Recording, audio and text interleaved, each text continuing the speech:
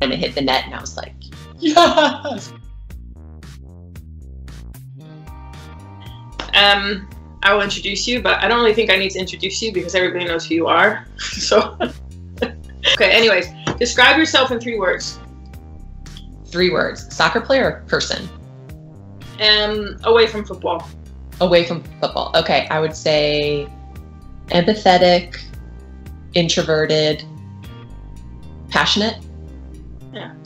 Does Zola want to add anything, or he can? Oh no, I, I made him go upstairs, so he wasn't. He's not listening to this. Okay, we'll get into football. What is the weirdest pronunciation pronunciation of your surname you've heard?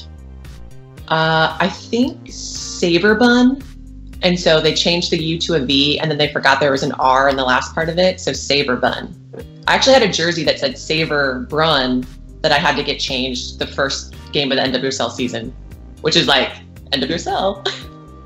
Welcome. People always ask, "What did you get when you got um, in 2009 drafted?" And I'm like, "What do you mean? What I got? We didn't get jerseys. You get the scar." These kids have no idea uh, how we paved the way. Okay, what is your earliest football memory? Earliest football memory i was playing at this local park in st louis. My parents put me into like a little co-ed league which is played on the weekends and i was playing with like a bunch of my schoolmates. And i remember shooting on goal and i couldn't get the ball off the ground and just being so frustrated and just training and training and training. And finally got the ball off the ground and it hit the net and i was like Yes. that's like one of my earliest memories. And then you knew you were center back, or Oh no, man. I was like a center midfielder up until regional team. And then, you know, everyone was a center midfielder. So they're like putting center midfielders everywhere. And they're like, you are going to go to center back. And literally, it, like, everything clicked. yeah, makes sense. Okay, what was your first game you went to, like professional game? Uh, probably the first game I went to, I think University of North Carolina traveled to play University of Missouri, so Mizzou. And so my dad took me to that game. And so I don't even know how old I was. I was probably like nine or 10. So, like, pretty young. And it wasn't professional, obviously, it was collegiate. Professional was probably uh, at a training camp for a youth national team. They took us to a Philadelphia game in the WUSA. Yeah. Who was your idol when you growing up? So I would say Carla Overbeck uh, was national team center back, leader for the team for a really long time. Just someone who has a lot of presence on the field. I actually saw her play in 1999 at the World Cup, and just like, just being awed by her because you could just tell that she commanded everything around her. If you guys don't know who that is, I highly recommend that you should just go Google because I'm sure many people have not heard that name. Um, if you hadn't become a professional footballer, what do you think you'd be doing now? I think I would be in publishing. So I Okay. love reading. so yeah, so like reading manuscripts, helping people write books. Um, I would love to be able to write a book, but I think it would be the most boring book ever. So I think helping other creative people write books uh, would really be like right up my alley. Like more autobiographies or like more like sci-fi or Fiction. fiction? Yeah, definitely like sci-fi fantasy. Okay. Um, what is the biggest sacrifice you've had to make um, to get where you are? Oh, geez. They're Um, so it might be some might be light and some might be quite um, I mean, I when I went to play in Norway for those four months um, after that first WPS season, I missed my brother's wedding, and so like whenever I tell people I miss my brother's wedding, they're kind of like, "You're insane," and I'm like, it kind of seemed Normal. normal to me, um, but I think looking back, like that was kind of a bad one to miss my brother's wedding. Whoops. I think it just comes, like you said, the norm to, for us because at that point you have no idea what. At that point, you're just kind of getting started, and you had no idea what the future held. So you just thought, okay, I have to do this for now, live in the moment. You never Yeah. thought in ten years you'd be still playing national team, and I guess now playing at home. You know, it's like you had no idea where things were going after WS WPS folded. Oh, for sure. I support your decision. Sorry. okay, if you could choose one superpower, what would it be? Uh, one superpower, I'd probably go with either flying or invisibility. Those are like tied for first. And wh- why? what would be? Well, have you ever had flying dreams where you're like literally you can fly in your dream? It's like it's pretty rare. I don't think I can't say that I have. Okay, so I've had them maybe like a handful of times in my life. And I wake up. I mean, it's such an amazing feeling in the dream. And I wake up and I'm so like so sad that I woke up. And so I imagine if I could do that all the time, I'd just be like the most happy person. Like flying was awesome. And then invisibility, I actually think I could like do good things. Like I could uh well, I could do bad things too. I could like rob banks and stuff. But I could also like be good and be like Robin Hood and like steal from the rich and give to the poor. Okay. Um, have you done like skydiving or I guess in the States you have the I did it in Houston where you go in and it's like you're on that big wind tube and then you like you know what I'm talking about? Cause it's, Yeah, I've never done it though. it's actually quite cool. You go in, you have the suit and you have a hat, and then you go in this wind tunnel and you like start on your stomach, and then it, it's the same thing as like you're skydiving, but obviously it's you're not actually gonna get injured. You should do it. There has to be one after this whole quarantine thing. Okay, straight to your club career. Can you tell us about we were talking about this your draft day in 2008? So the draft for the first season of the WPS was on the internet. And so I was actually in college, in class, and like not even sure. I didn't have like the technology to even check. And then I think I found out afterwards that I had gone like third or something to the Washington Freedom. So I was like, sick, that's perfect. Yeah. Oh, how far it's come, you know. And we brought up we brought up you going to Roa and you played there 2009. Why Roa? I mean, obviously the league and stuff, but why did you choose Roa out of the teams you go to?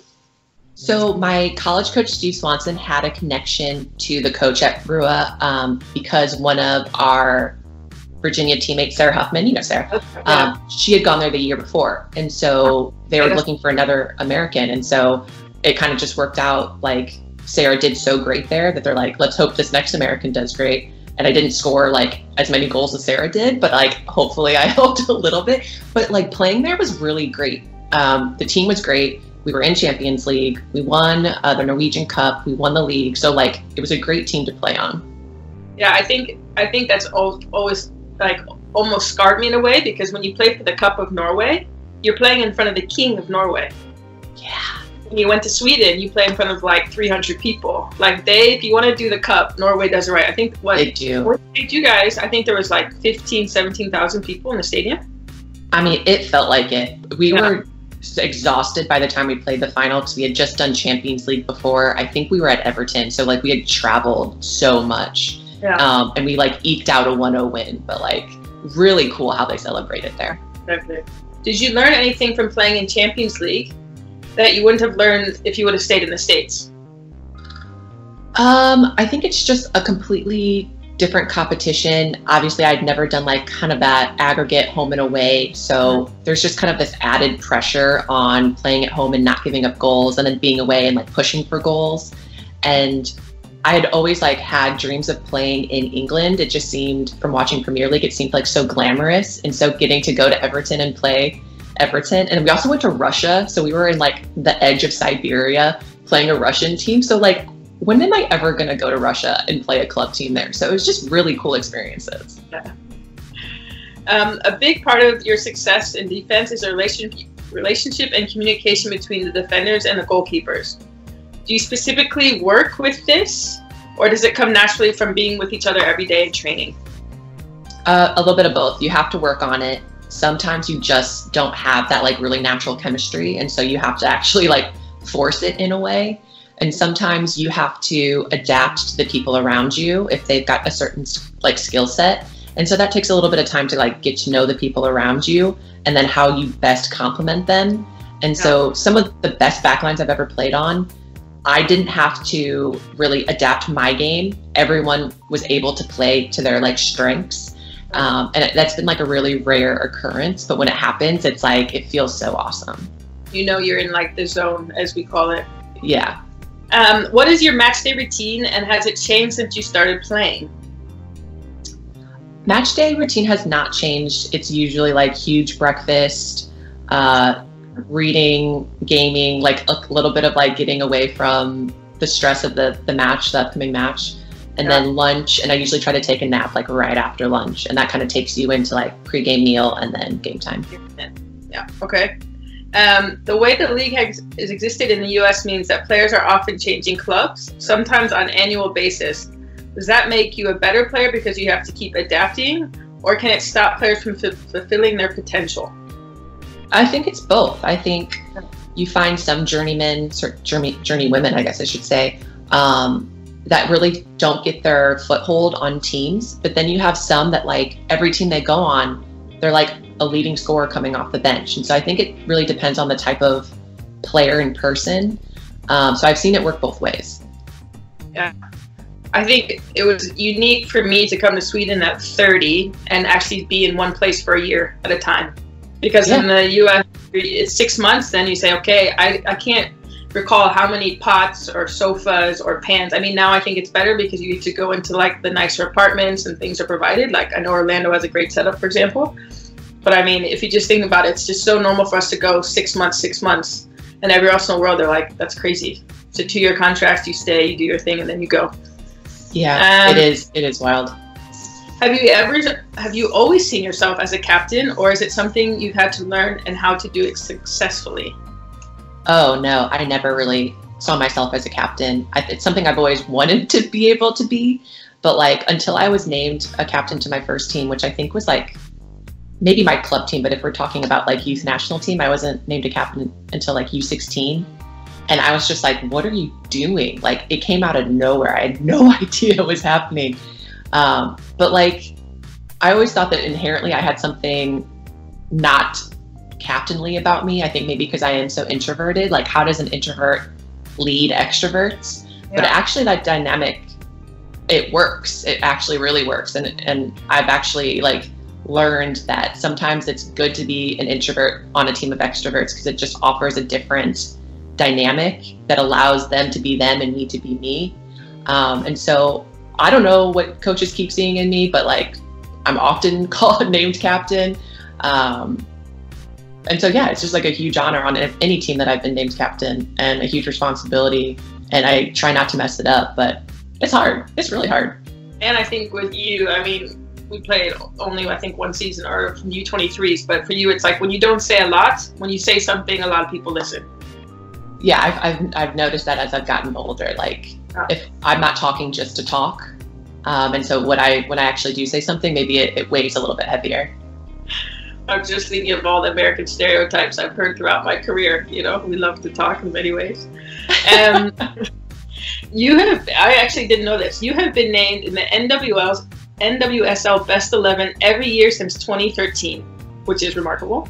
Does an incredible individual achievement like that ever outweigh success as a team? For example, in Kansas, you won back to back, right? So, does do you have? I mean, I can answer this, I think, for you because you guys don't have Becky's humble um, attitude, but.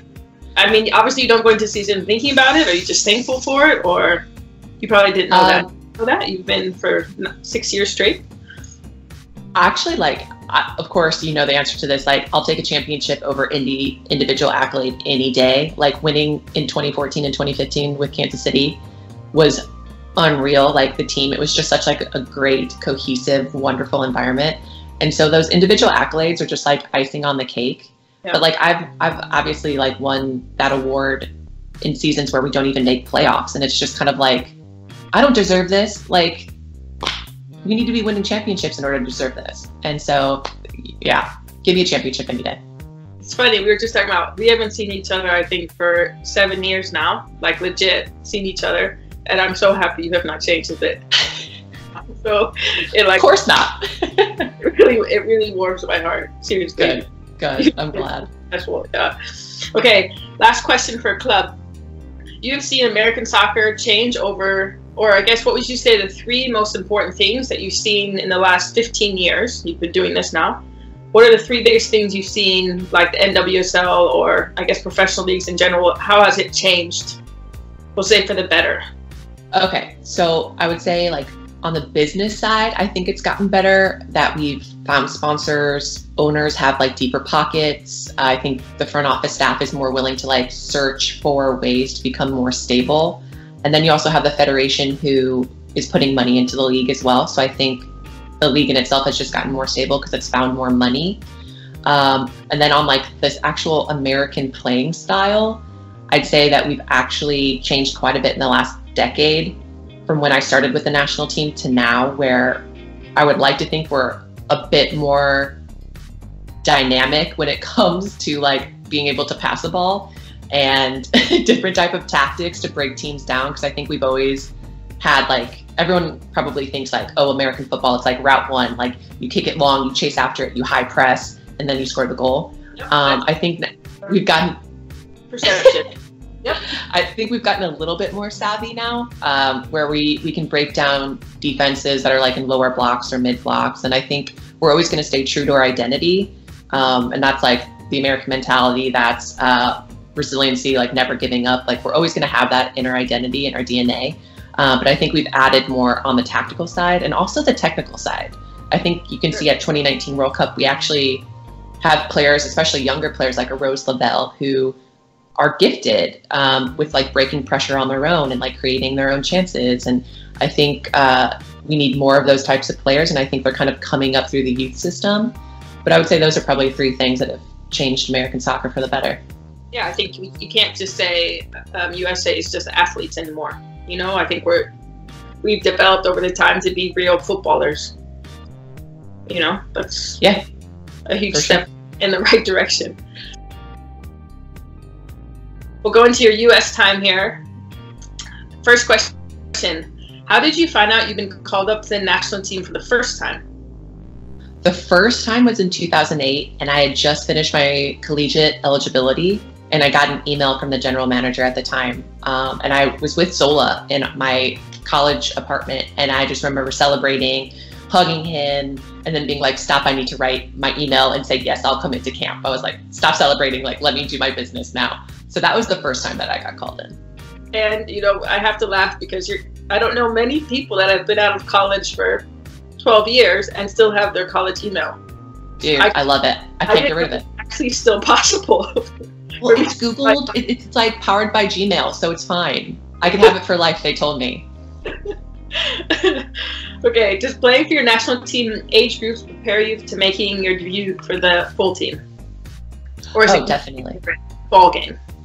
Uh, I think no, it absolutely helped me, and I think first like being selected to that first youth national team, and you're like, oh my gosh, like I really have to establish myself, and like it just challenges you, and I don't think you necessarily get that challenge if you just play with your club team or so.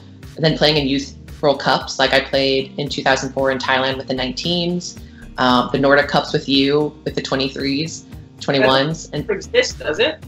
What's that? Does the Nordic Cup still exist?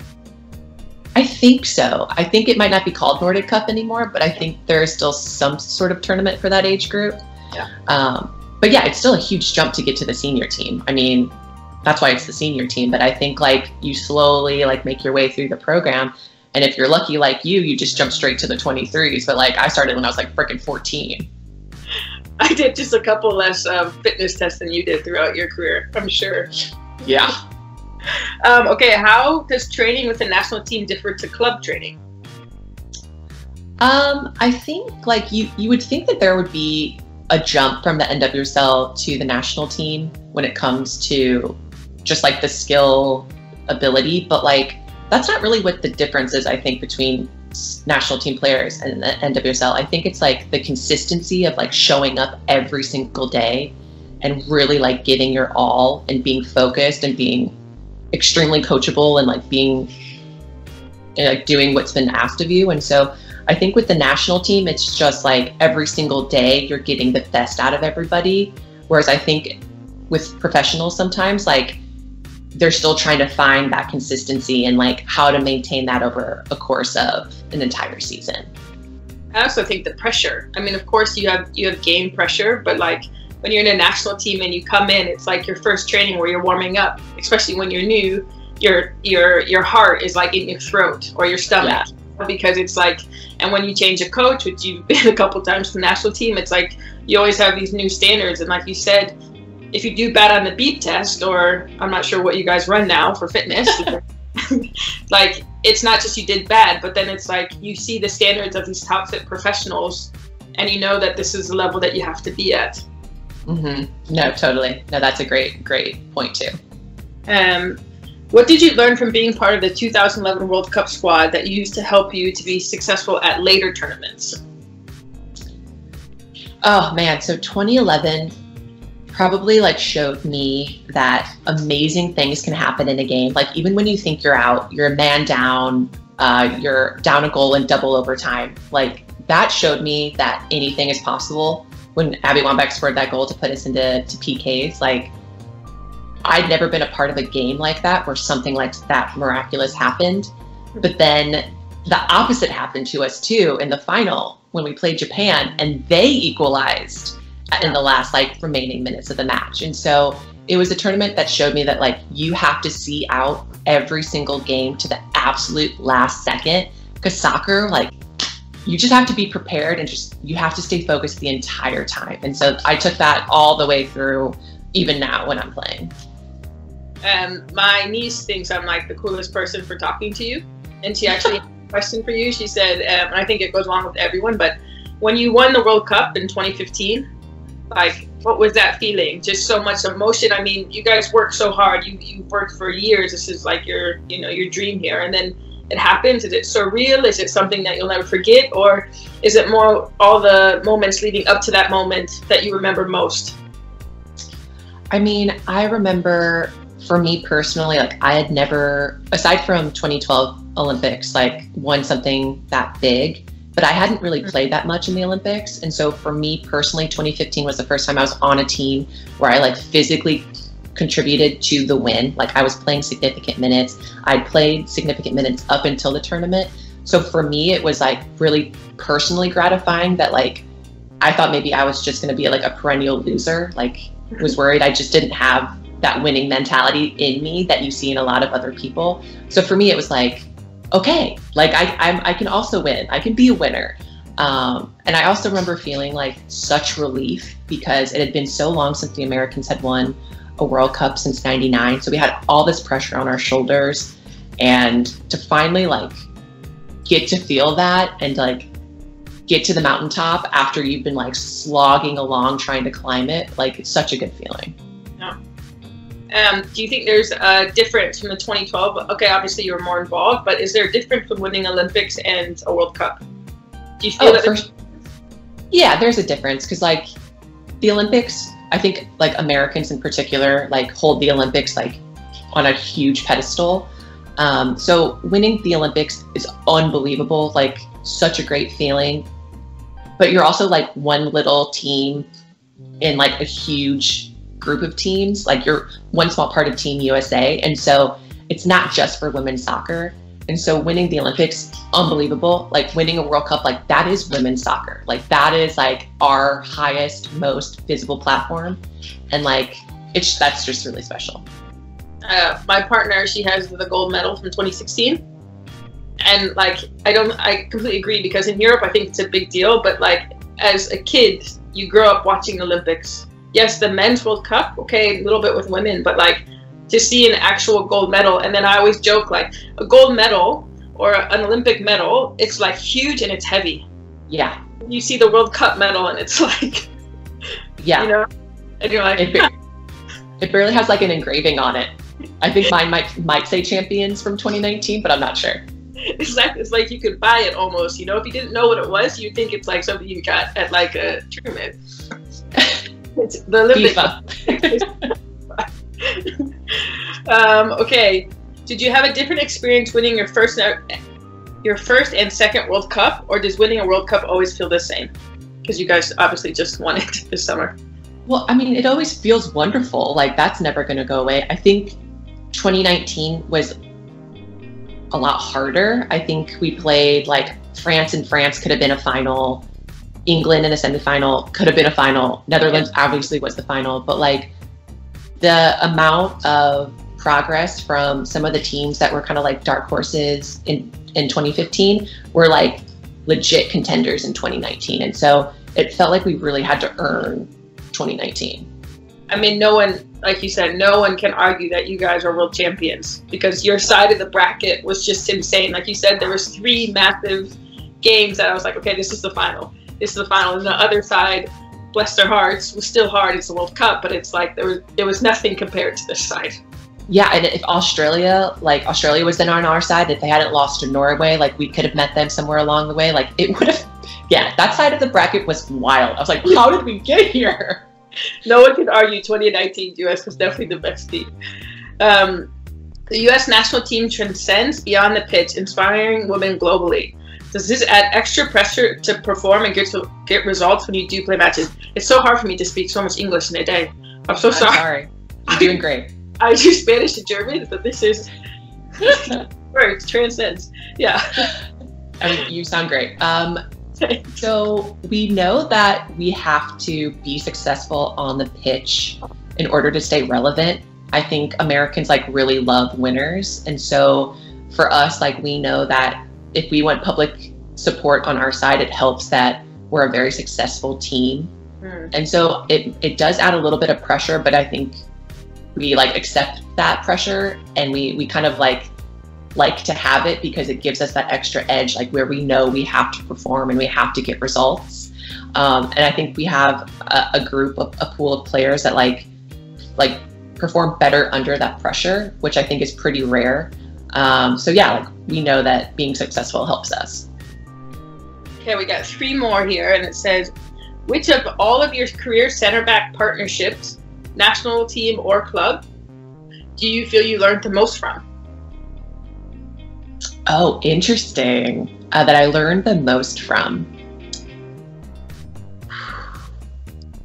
I think I think I learned the most when I was with JJ. So Julie Julie Ertz, um, she had just just like got onto the roster, got onto the starting lineup, and so for me, having this brand new player, like leading right into the 2015 World Cup, how much I had to learn about her and the backline in general so quickly with so much pressure on our backs. Like, I think for me, like it brought my game to a different level because I basically had to add all these tools to my like toolkit to make sure that our backline could function the best that it could. Um, and that was like allowing others to shine and like I think in 2015, like JJ was such like a hammer, like she was just destroying plays. And for me, it was like learning how to sweep everything up and like just provide like safety, yeah. um, which added like a nice little, a nice little level to my game. I'm just thinking of all the commentary that you nailed it. That was probably the sums up the 2015. Yep. um, okay, when you reach the level that you have and you've been winning trophies, you've been considered one of the best defenders in the world. How do you ensure you stay motivated and keep improving? Like you said, you joined what national team when you were 16 or the youth, so you've been. I've been in it. I've been in it. Um, I think it's because I keep want to like I keep wanting to win things, and so it's so fun winning. And like honestly, like we won 2015, and the next thing that we were thinking about was okay, let's win 2016. Obviously, we didn't, but then thinking like, okay, let's win 2019. And now we've won 2019. We're like, okay, let's win 2020. Okay, wait, there is no Olympics 2020. Let's win 21. So it's like you get onto the mountaintop and like you're literally looking like for the next mountaintop to climb. Um, so for me, it's like, can I stay at a level where I can be on this team and help this team keep climbing to different mountaintops? And so that's what's motivating for me as I get older is like, can I keep my level high? Can I keep growing my game? Can I become like savvier and more tactical and more technical. But like physically, I'm not as strong as I was at like 23, you know? So there's just like different challenges now. Do you think, I mean, how do you feel about Olympics being moved? This isn't a question, but does this affect you or you just say, okay, we're going to grind it out, keep going? This is part of our journey or our, our story. I mean, it gives you more time with Black Blacko, which is really nice, I'm sure. Um, were you saddened? Were you affected by it? Or for you just saying, okay, this is the way it is, let's go? this is the way it is let's go i mean to have it to have it right now in this year in july would just be so irresponsible and put people at risk of contracting covid like I, I can't even imagine if we had had it in july because people haven't even qualified for the olympics yet and so forcing these people to like have contact sports is just insane so super glad they moved it and this is just nobody knows what the hell is happening right now and so you just have to take it as it is and just roll with the punches This is okay. This is not. There's two questions. One's kind of fun. Um, if you had to pick a dodgeball team from your U.S. teammates, who's making the team? I don't know. How much is in dodgeball? Five people? Uh, let's go with five. Okay, five. Okay, uh, Alyssa Naeher for sure. Like she can toss the ball out for sure. Um, Kelly O'Hara because she's crazy. Um, Sam Mewis because she's very strong and powerful. Um, let's see. I'd go with Lynn Williams, Mhm. and then Just a freak of nature, right? Athletically, she's just. Yeah, man. I mean, she's just strong all over, but she's also like super agile, so she could be like dodging and dipping and stuff. And then I need one more. Um, let's go. Let Julie JJ. Great. She'd like sacrifice herself. I mean, I don't know her at all, but Probably, yeah. that would, yeah. Okay, and then last question: How do you hope people will remember you when you decide to retire? Oh, that's a, a great question. Um, so I hope my teammates more more like I care more what my teammates think about me than what the rest of the world thinks about me. But like I hope my teammates think like there was a player who like really put the team before herself. Like team success was so much more important to her than individual success.